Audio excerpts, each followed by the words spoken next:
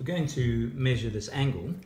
Uh, and here you can see that this angle, we're not measuring uh, inside this, well, I guess a more conventional angle.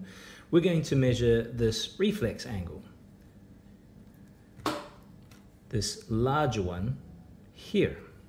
So the way we need to do this is to think about uh, a whole circle. So if we have a whole circle, let's draw a whole circle here, we know that the whole thing is 360 degrees, right? So the whole circle, and it's 360 degrees. If I take a chunk out of it,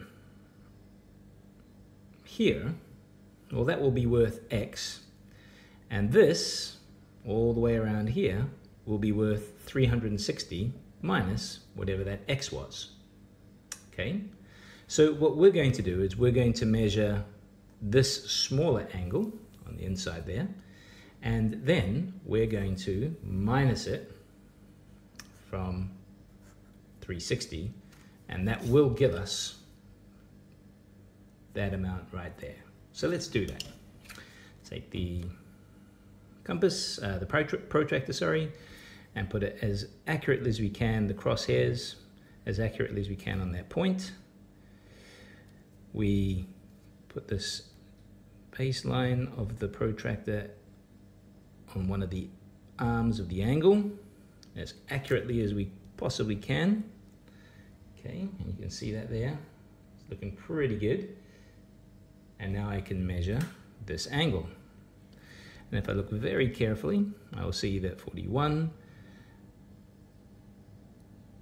42 and a half, so I'm to say 43. So I'm to say this angle here is 43 degrees. Okay, I'll show you again. So from here, okay, I'm starting on zero on the outside here. So I follow this around. Not this. In, I'm not looking here at the 180. I'm starting at zero. Okay, let me just get that perfect again. So I start at zero and I work around 10, 20, 30, 40, 1, 2, about 3. So that's 43. Okay, so To go back to this idea. Okay, so 360, which is a whole circle, minus this chunk of the whole circle right here, which is 43.